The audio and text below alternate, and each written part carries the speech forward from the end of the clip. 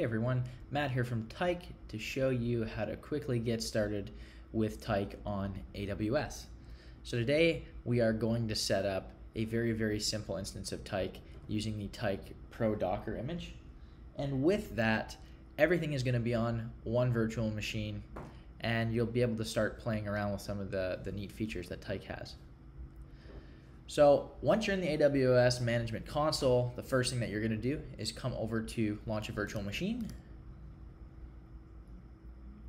Once that comes up, you're going to pick the Amazon Linux 2 AMI here, and I will do Select. For my purposes, I'm to use the T2 Micro. You can use whatever you'd like, but we'll use the T2 Micro for this just because it's free tier eligible and we'll click Next, Configure Instance Details. And then what I'm going to do is I'm going to skip right over to Configure Security Group because all of these defaults are okay for us at the current time. Now I'm going to call this POC Access and we can wipe this and we'll just do POC-access and then we'll come down here, and instead of SSH, what we are going to do is come into all traffic. And normally, you know, you'd lock this down a little more, but for our purposes, we are just gonna leave it wide open. So all traffic is gonna be able to access this box. I'm gonna do review and launch. We're good here, good here, and good here. So click launch. Now the next thing is you can use an existing key pair for access, but I'm going to show you how to generate a new one quickly. So create new key pair is what we're going to select. I'm going to call this POC access. And then what I'm going to do is download the key pair. Oh, I already have one that exists as that. Okay, I will call it POC access 2 and do download key pair. All right, from that, I'm going to save it in my type directory and POC access 2 is the one that I'm going to go with. So we'll save that. Now it's important to remember that you have to download this file and you need to make sure that you keep this file if you want to be able to access this instance. So you're not going to be able to download it again later once it's created. Now that I've got it downloaded, let's do launch instances. And away we go here.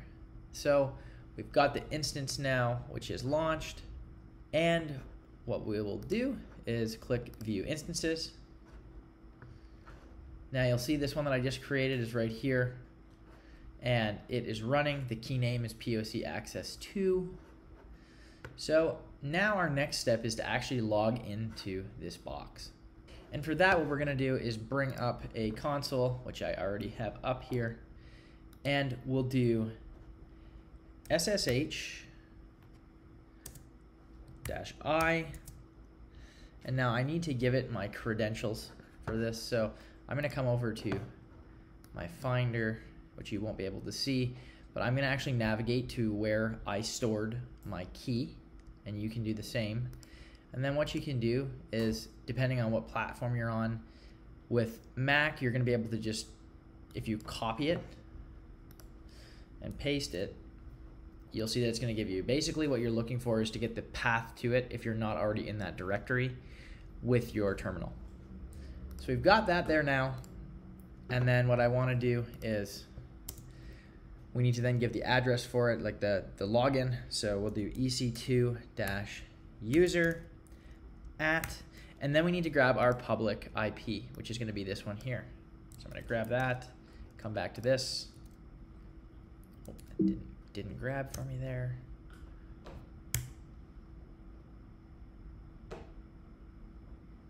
Back. Right click. Actually, we can just go like this. Command C or Control C if you're on Windows. Right click, paste. There we go. And then what I should be able to do is press enter and it's going to try to get in. Um, it's going to ask for this fingerprint the first time. We know that it's valid, so we're going to type in yes. Now this is what you'll normally get if you're storing this in a, a public directory. You're going to get unprotected private key file. And there's a really quick way for us to fix this um, that's going to get around this for us. So what we're gonna do is we are actually gonna change the permissions on that file.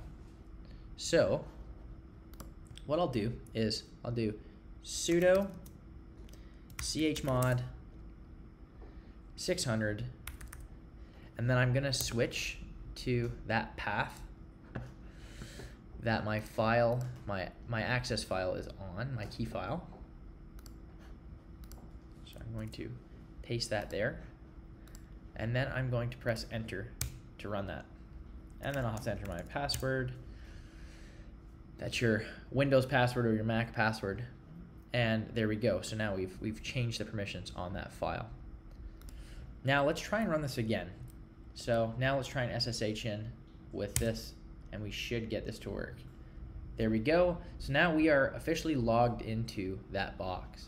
So now we're at the point where we can start to install some of the required components.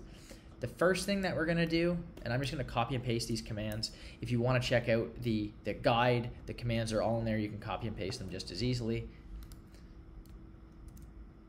So first one we're gonna do is sudo yum update dash y. Then what we're gonna do is, and that's just gonna update everything uh, that we need. It's gonna do some security updates and that kind of stuff for us. Then what we're gonna do is we're gonna install git using yum. So sudo yum install git dash y. We'll run that.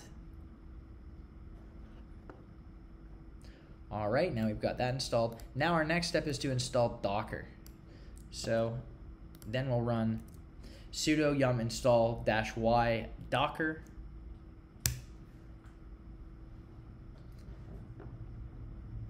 And that will install for us.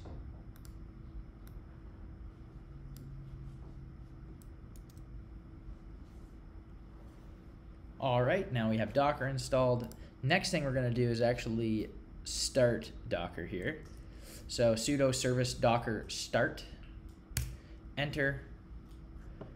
Okay, now we're gonna do is we're gonna use the usermod command and you'll see that we're setting a EC2 user.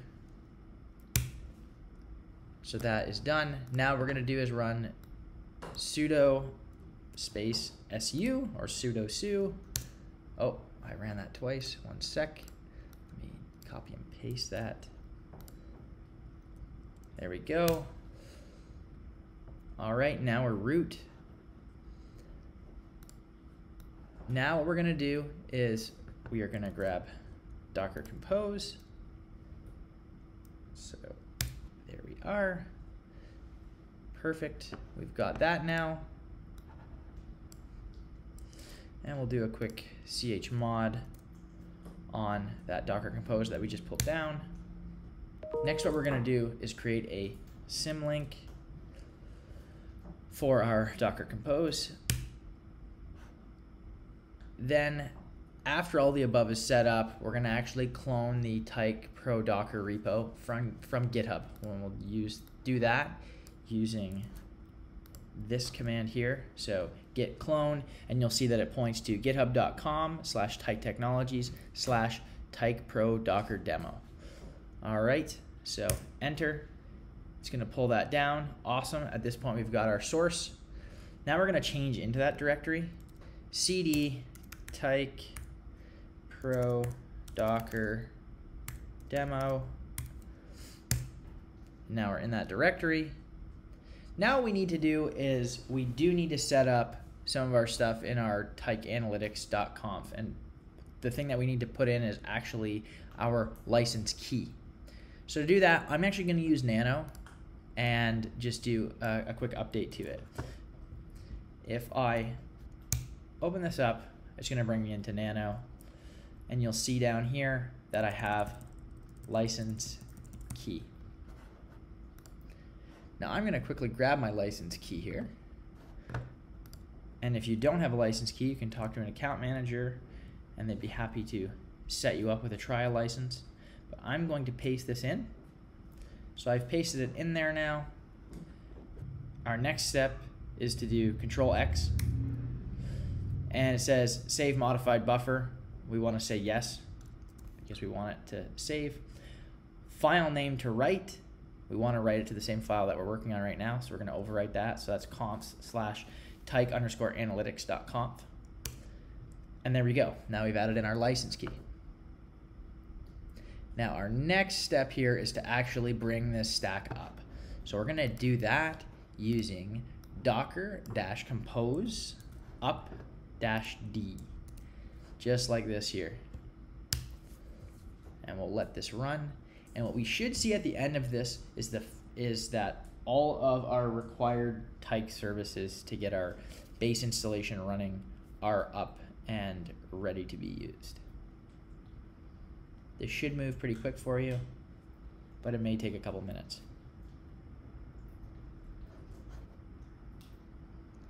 All right, so what we see here is the Mongo Redis gateway dashboard and pump components that we need up are in fact up and running. And you can see that here with done, done, done, done, done. Now what we're gonna do is let's actually log into the dashboard. So to do that, what we need to do is grab our public IP again, come over here, paste it, and we'll do hit port 3000, which is the port that the dashboard runs on. And we'll do HTTP colon slash slash. And you're gonna see that you come to this screen for the dashboard setup. So organization name, I'll call it Tyk. Organization slug, we can do Tyk again email matt at tyk.io. And we have first name, which is Matt, last name Tanner. Password for this, we're just going to use test123. And I'll use test123 here again. And then we'll bootstrap.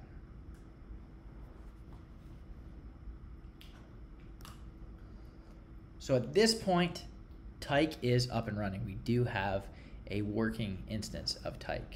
But let's do some, let's just quickly set up an endpoint just so you can see how it works and it gives you a good starting point. First thing we'll do is come over here to APIs, click there, do add new API. We'll call this test API.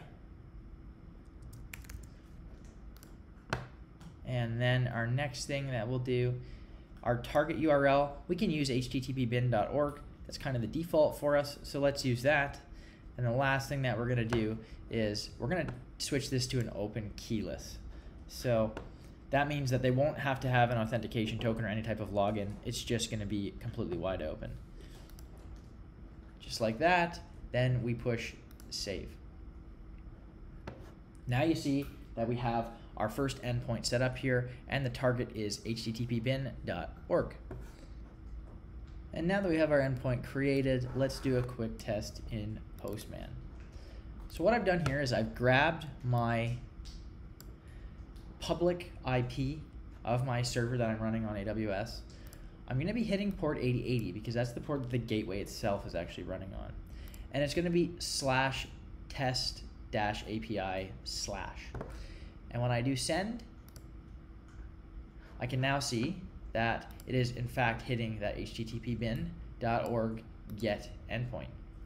And there we have it. We've created a Amazon EC2 Linux box, put Tyk onto that, bootstrap Tyk, and created our first endpoint. So at this point, now you can start to dig into Tyk's documentation and start to explore all the great features that Tyk has to offer.